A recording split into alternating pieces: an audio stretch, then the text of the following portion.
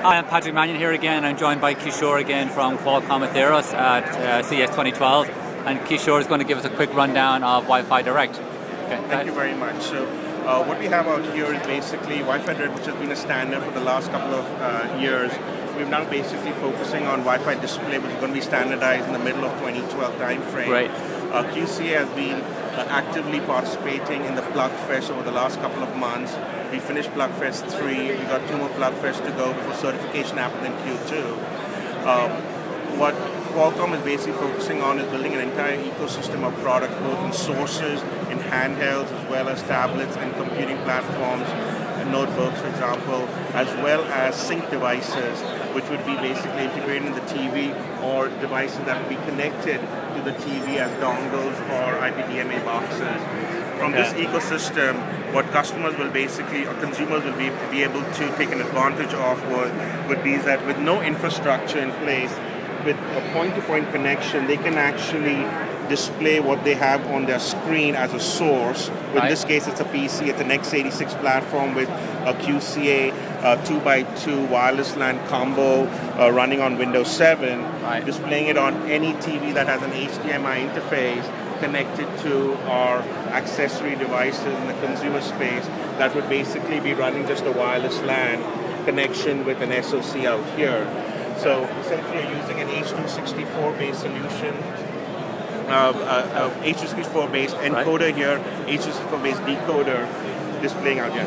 Something like this could be within the TV itself, and you basically yeah, yeah. see in the future TVs with Wi-Fi display enabled, uh, integrated in there with wireless LAN. What sort of range can you get from the PC to So the, we've been able to get this, you know, across the house basically, uh, but this is really a technology that is in a PAN in or room. a personal area network environment or within a LAN environment. Now you're facing competition from the likes of WiGig at 60, uh, 60 gigahertz, also trying to do the same thing. So in fact, we have a WiGig implementation out here too. Oh, really? We okay.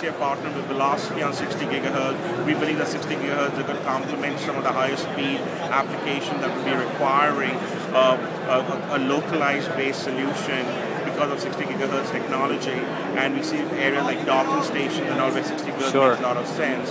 What we are seeing basically with Wi-Fi display running on 11N with H264 allows us to basically permeate with wireless LAN this particular use case where there's no HDMI cable that's required yeah. from the source to the sink device. You can do the same for audio too, right? Uh, for, I'm uh, sorry? You can do the same for straight audio feeds too, right? Oh, this is with audio and video. I know uh, there's a lot of noise AV, right, yeah, yeah. It, but it's really audio and video but, but, but, but, for audio alone, right? Like say from, from an iPod or whatever you can. Uh, so you can use it with any any of the standard wireless LAN for audio or video. That's gotcha, okay.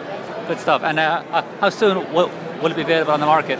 I think you basically, basically we are slowly sampling this in the first quarter of this year. You should see products by end of Q2, to definitely in the second half of this year once certification is done.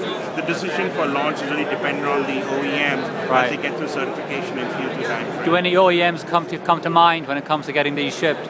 I think what we've been really surprised over the last four and a half months, we've seen interest from mobile customers yeah. uh, who are basically looking at our MSM 8960, uh, looking at our x86 computing platform, TV manufacturers as well as our retail and consumer electronics OEM, they're all interested in building yep. products with Wi-Fi display enabled with QCA wireless LAN uh, to basically bring this entire ecosystem together.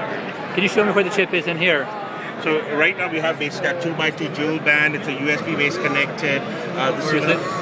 It's a 2x2 dual band. It's a, the 9374 which we're launching uh, in Q1, which will basically be supporting Wi-Fi display. It's a 2x2 USB-based uh, solution which will be available for the retail market and for the sink devices. Out here is a PCIe-based 2x2 combo-based product, um, which will basically be available for in the Q1 timeframe also. And this would basically support Wi-Fi display on Windows 7 and, and in the future with Windows 8. Good stuff. Okay, thanks, Kishore. Appreciate your time. Appreciate okay, good job.